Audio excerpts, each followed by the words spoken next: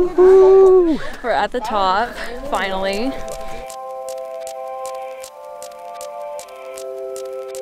Good morning. We are on our way to our extremely exciting day trip today.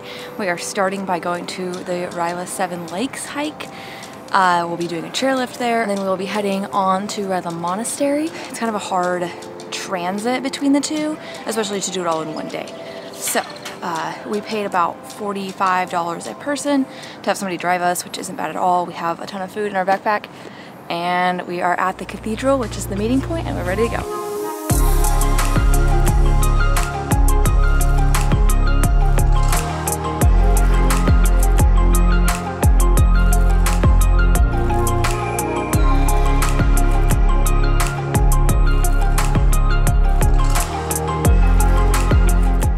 Just got to the chairlift and from here we'll go up to the starting point for the hike to the lakes. It's a very windy road up here so bring your Dramamine or your ginger. I was definitely feeling it. We got two round trip chairlift tickets. It was 20 lev per person, which is about $12. We have some really nice weather today right now. It's about 22 degrees Celsius. And right behind us here, you can actually see the hike we're getting ready to do and Ashley's got it on our AllTrails. chairlift.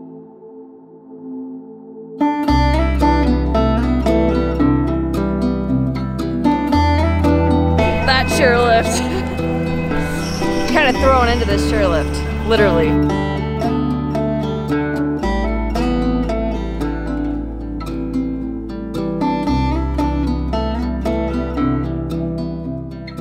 Very relaxing. It's nice and slow.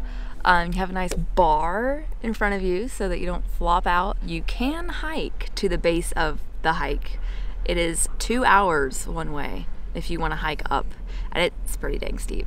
So we recommend the chairlift. I think it'll be a great after hike as well. Oh yeah, this is the best way to get down too. this is the Seven Lakes of Rila, and this area just has some really awesome views of the lakes, um, especially from above. So that's why it takes a little bit of hiking to get to the top. Whoa! it stopped all of a sudden. I was just recording us just sitting here, and then now we're bouncing. There's something on my shirt. this is not the place to freak out.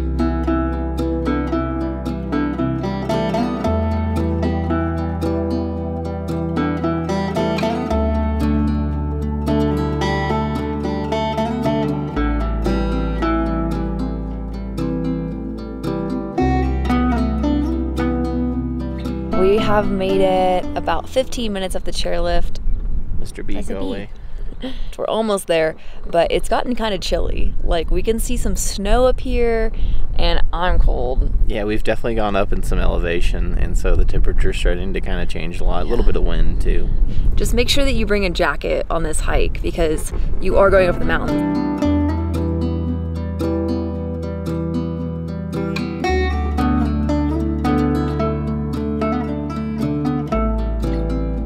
Hike starts out pretty much uphill for the first half mile or so. So we were just climbing straight up right now. It's like stair steps made out of rocks. It's really not too bad. Once we get to the top of this plateau, it's kind of flat for about a mile or so, I think. And then we'll climb up again. But the first, it starts out very strong. Like you start out strong.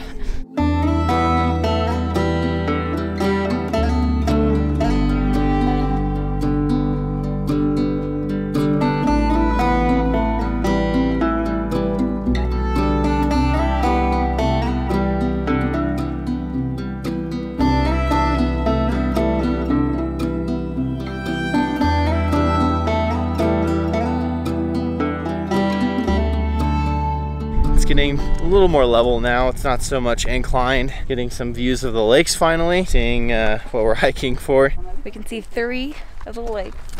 That one, that one, that one. And I would tell you what they're named, but on AllTrails they're all written in Cyrillic, and I don't know how to pronounce that at all. What a great first lake view. This is beautiful.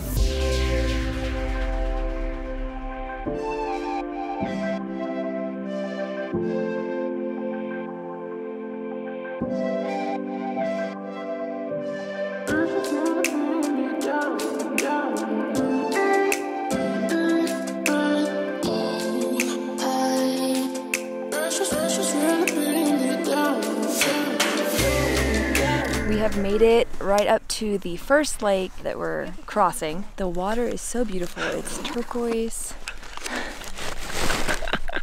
Elevation. the water's really turquoise and blue. It's beautiful. It's a really big lake, actually. It's a lot bigger than I was picturing. But we're gonna have a few snacks before we get to the top and eat our actual food that we brought.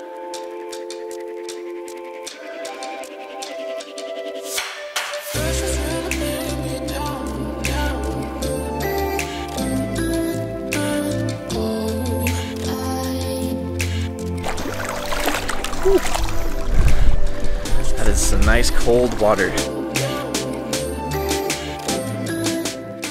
I think they should build a chairlift from here all the way up there, which is where we're going. Yep, we're going right there, guys.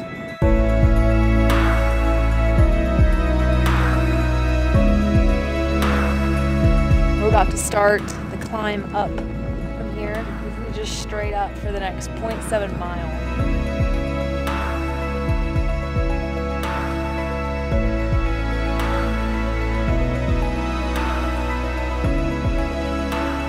Lake is named Kidney because it's shaped like a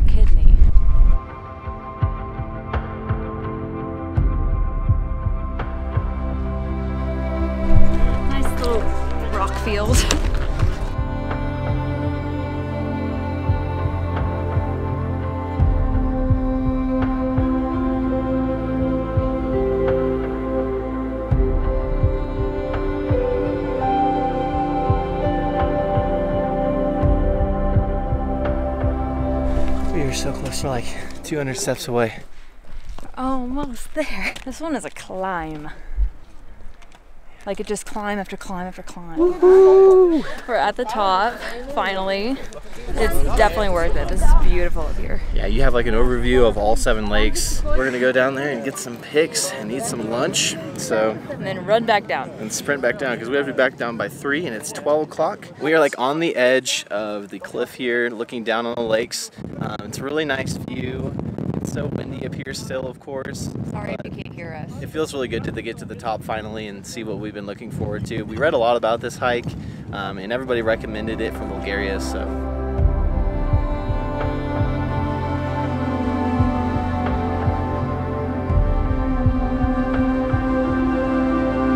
don't know if you guys can see very well, but we started all the way down there.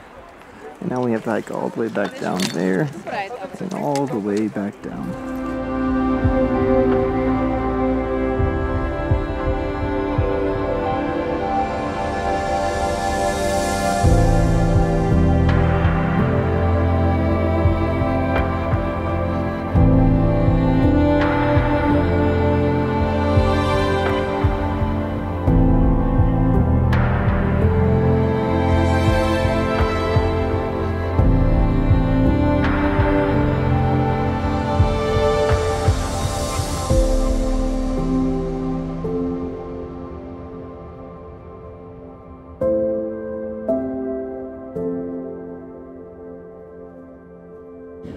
Looked back for the first time since coming down. We were all the way up there. I cannot believe it. I cannot believe we made it all the way up. And we've gotten this far down in like 20 minutes. It's taken so much less time. Sorry, I was helping out the that man. He's like, what is that way? And I said, there's more lakes. He goes, oh my, more lakes. I said, yes, there's seven. He goes, seven? I was like, that is the name of the hike. We just finished the hike. Um, made our long trek down. The knees are feeling it, the ankles are feeling it, the feet are feeling it, the toes are feeling it. We just got down to what looks like a little hotel with some food, hopefully a restroom. I mean, good hike. We did like five miles in total, 2,000 feet of elevation gain. Our sandwiches are still in our bags, so we're gonna eat those now. We just wanted to make sure that we were gonna be down in time. Exactly.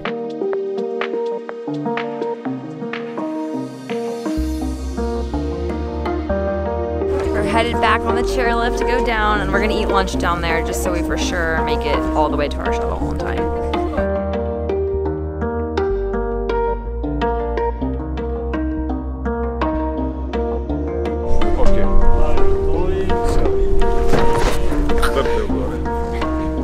They like grab you and make sure you get on this uh, chairlift. There's no missing the lift. eat it off. We're heading to the monastery next. Um, we'll hop back in our shuttle, and it's about a one and a half hour drive there. It's a nice ride down, very soothing. You get a chance for your muscles to recuperate. But now we are heading back to our van to head to the monastery. We paid about $45 a person to have transport to both of these places. It's nice to not have to worry about driving in Bulgaria. Yes, you will quickly figure out driving in Romania or Bulgaria can be quite uh, Stressful. quite stressful.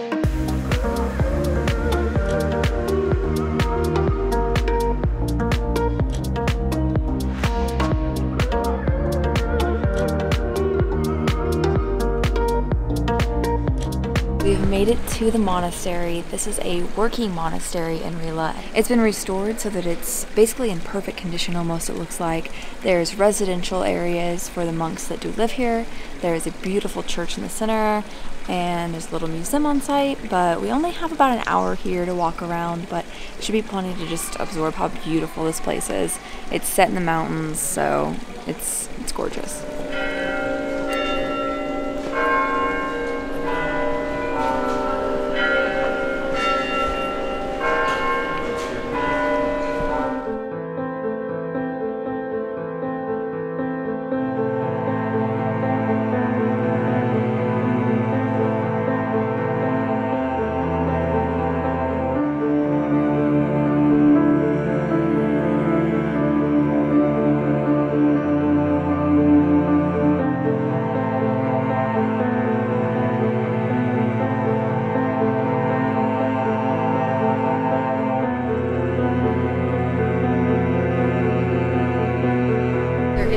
History museum right here. It did close at 4:30, which our shuttle person said that we'd be able to go in. So I don't know if they would have stayed open a little bit later for us or not. But check that out if you come here. I've heard it's really worth it. There's lots and lots of fountains around the area. The water is cold and crisp and delicious.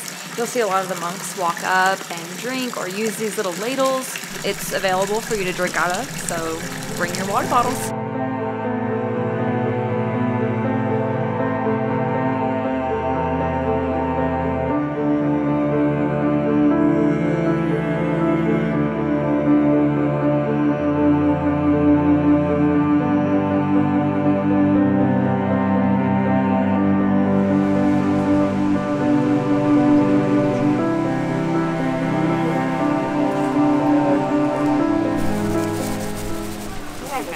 Very Bulgarian doing this. We are at this little bakery. It's kind of through the monastery area. But they have these traditional breakfast pastries. These are called miketskis, right? Miketsis. They're just fried dough that you put powdered sugar on. They have a little communal powdered sugar out here that everyone kind of just sprinkles their uh, miketsi with. Coat them in powdered sugar. Mm. Mm. It's all over my pants. it's not as fried as it looks. Like it's more doughy in the center than I was expecting. It's really good. And then we also got some lemonades. They have a bunch of lemonade flavors. We got elderberry. It has like a herbally lemony flavor almost. It's very good as well. So make sure you come check out this little bakery back here. This little stone bakery.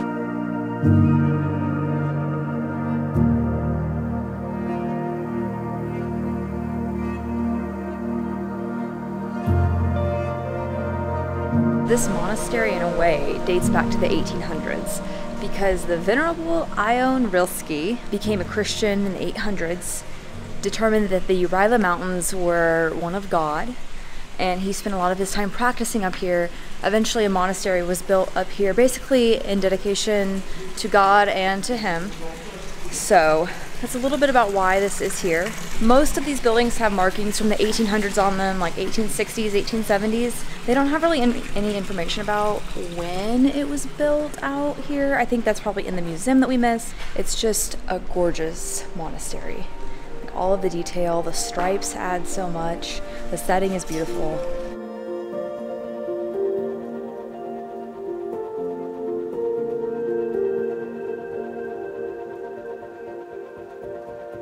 So the frescoes all around the church are just telling a, story of Jesus Christ, basically the Bible. Really pretty. Um, definitely took some time to do this. It's very colorful. You can also tell that this is newer by how bright and vibrant all of the frescoes are.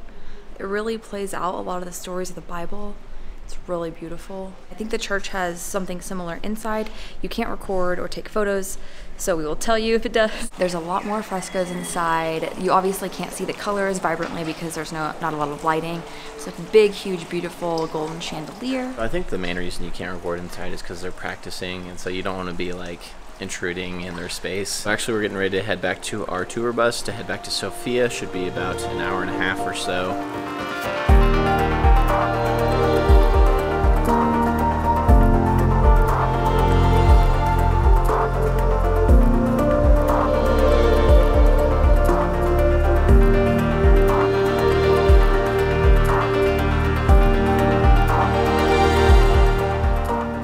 One last comment leaving this place if you are a woman, you do need to have your shoulders and knees covered. So I had my hiking tank top on, but I've just worn my jacket the entire time we've been in here, and luckily it's been relatively cool. But just keep that in mind. You can bring a little scarf too if it's a hot day.